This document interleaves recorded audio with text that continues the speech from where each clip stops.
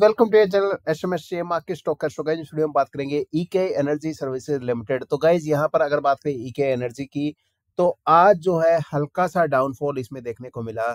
Market की condition दो दिन से काफ़ी खराब है। एक दिन जो कि मंडे को मार्केट जो है करीब 1300 पॉइंट के आसपास डंप थी। एंड अगर बात करें आज की एक अक्टूबर की बात करें तो करीब जो डंपिंग है, वो करीब 300 पॉइंट के आसपास तक भी पहुँच गई थी एंड एट द एंड जो मार्केट बंद हुई है, वो करीब 40 से 50 पॉइंट डाउन साइड पर बंद हुई है। एंड अगर बात करी के एनर्जी की तो पीक था ऑफ़ कोर्स जो कि सेंसेक्स पीक पे था एंड इसके अलावा जो है, काफ़ी सारे शेयर्स पे प्रेशर था। बट यहाँ पर ईके एनर्जी की बात करें तो एक महीने में करीब पाँच परसेंट का डाउनफॉल ही देखने को मिला है। एंड शेयर जो है करीब दस से पंद्रह परसेंट के आसपास भी डाउनफॉल में चल रहे थे, बट यहाँ पर ईके एनर्जी में ज़्यादा डाउनफॉल नहीं था। तो इसके अलावा जो है कंपनी में एक बड़ी अनाउंसमेंट हुई है, एंड जल्द ही चीज़ें जो है कुछ सही डायरेक्शन में जाने के चांसेस लग रहे हैं। तो गाइज़, वो कौन सी अनाउंसमेंट है जिसकी वजह से यहाँ पर ये सब चीज़ें आपको देखनी पड़ेंगी? एक अच्छा खासा मूव देखने को मिल सकता है। तो गाइज़ पूरा डिस्कशन इस वीडियो को तो करेंगे। सो चैनल को सब्सक्राइब करना मत भूलें। तो लेटेस्ट अपडेटेड न्यूज़ मिस कर जाएँगे। तो आज की बात करें तो गाइज़ तीन सौ बारह रुपए पचानवे पैसे इसका आज का ये लो की बात करें। तीन सौ आठ रुपए पाँच पैसे इसका आज का लो अगर बावन इकाई की बात करें, पाँच सौ आठ रुपए इसका बावन इकाई लो की बात करें, दो सौ अड़सठ रुपए दस पैसे इसका बावन लो है।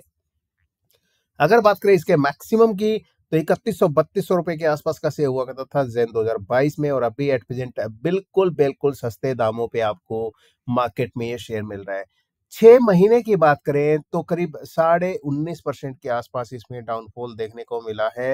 एंड अगर बात करें इसके अलावा, इसके एनालिसिस की तो गाइज़ आज वॉल्यूम ट्रेड हुआ है, वो करीब साढ़े उन्नीस हज़ार के आसपास का वॉल्यूम ट्रेड हुआ है। बीएससी पे ही लिस्टेड है स्वोटलिसिस की बात करें, पाँच स्ट्रेंथ है, आठ वीकनेस है, दो अपॉर्चुनिटीज़ है, दो थ्रेट है फेस वैल्यू जो है दस रुपए है।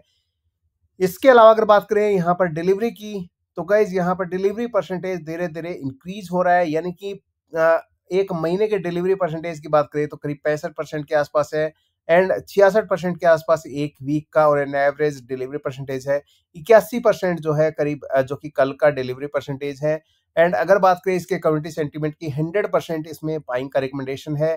इसके अलावा अगर बात करें इसके फाइनेंशियल की तो गाइज़ स्टैंड लोन यानी कि इकलौते अपने दाम पे कंपनी जो है क्या कुछ कर रही है? तो डाउनफॉल है रेवेन्यू में, इकतालीस करोड़ का रेवेन्यू शो किया है। नेट प्रॉफिट की बात करें तो कंपनी जो कि तीन करोड़ का प्रॉफिट अर्न किया है ईपीएस की सिचुएशन भी काफ़ी हद तक नेट प्रॉफिट वाली है। शेयर होल्डिंग को देखे उससे पहले कंसोलिडेशन में क्या कुछ चल रहा है? तो गाइज़ यहाँ पर क्वार्टरली रिज़ल्ट की बात करें तो कंसोलिडेशन में करीब ढाई गुना जो कि रेवेन्यू में जंप देखने को मिला है नेट प्रॉफिट की बात करें तो कंपनी ने करीब करीब तीन लाख के आसपास का प्रॉफिट अर्न किया है जून क्वार्टर में। ईपीएस की सिचुएशन भी काफ़ी हद तक नेट प्रॉफिट वाली है। शेयर होल्डिंग की बात करें प्रमोटर की होल्डिंग डिक्रीज हुई है हल्की सी जून क्वार्टर में। एफआईआई की होल्डिंग की बात करें तो कोई चेंज नहीं है करीब एक साल से। डीए की बात करें तो यहाँ पर ज़ीरो है होल्डिंग एंड अगर बात करें पब्लिक की तो पब्लिक होल्डिंग में कोई चेंज नहीं है एंड अदर्स की बात करें तो अदर्स की होल्डिंग आई है पॉइंट ज़ीरो परसेंट के साथ जो कि जून क्वार्टर में। इसके अलावा यहाँ पर जो कि पीच कंपनियों की बात करें ITC Grasim Reliance industry partly paid and S R F इसकी पीच कंपनियाँ मार्केट में मौजूद है। एंड अगर बात करें इसकी टोटल इक्विटी की तो गई टोटल इक्विटी जो है ज़्यादा नहीं है करीब करीब जो इसकी टोटल इक्विटी है, वो करीब पौने तीन करोड़ के आसपास की इक्विटी ऑफ़ कोर्स मार्केट में है। एंड ऑफ़ कोर्स इसके अलावा जो है, दो करोड़ से ज़्यादा जो है प्रोमोटर प्रोमोटर ग्रुप के पास है एंड छोटी सी इक्विटी जो है, वो पब्लिक के पास मौजूद है, जिसमें F I I D I other सब कुछ इसमें इंक्लूड है। एंड अगर बात करें इसके न्यूज़ की तो गाइज़ ट्रेडिंग विंडो क्लोजर का यहाँ पर जो कि अनाउंसमेंट किया जा चुका है। तो गाइज़ अब देखना बाकी ये है कि इसका रिज़ल्ट कब आएगा? सितंबर क्वार्टर जो कि ऑलरेडी एंड हो चुका है।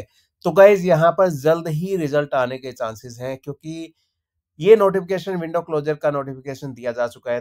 तो गाइज़ यहाँ पर कभी भी जो है इसकी डेट अनाउंस की जा सकती है। पिछले अगर रिकॉर्ड की बात करें तो गाइज़ यहाँ पर पिछले जो कि रिज़ल्ट की बात करें तो नवंबर में इसका रिज़ल्ट आया था करीब सेकंड क्वार्टर में। अब देखना बाकी ये है कि अब जो है रिज़ल्ट कब आता है, क्योंकि पहले जो रिज़ल्ट है वो काफ़ी काफ़ी काफ़ी टाइम लगा दिया था, क्योंकि काफ़ी बड़ा लोचा जो कि फाइनेंशियल में हुआ था जस्ट बिकॉज़ ऑफ़ जो कि कार्बन क्रेडिट की अकाउंटिंग को लेके सीए ने रेजिग्नेशन दिया, उसके बाद नया सीए हायर हुआ, उसके बाद दोबारा से रेजिग्नेशन तो काफ़ी सारी चीज़ें चली। एंड जो कि कार्बन क्रेडिट के अकाउंटिंग प्रोसेस को लेके अभी भी चीज़ें जो है, ऐसे ही डगमगा रही हैं। अब देखना बाकी ये है कि क्या, कब कुछ होने वाला है। एंड ऑफ़ कोर्स जो कि आने वाले टाइम में कार्बन क्रेडिट की डिमांड जो है वो काफ़ी ज़्यादा होने वाली है, क्योंकि जिस तरीके का जो अभी पोल्यूशन और क्लाइमेट चेंज को लेकर चीज़ें जो है, काफ़ी वर्ल्ड वाइड चीज़ें जो कि डिस्कशन में है।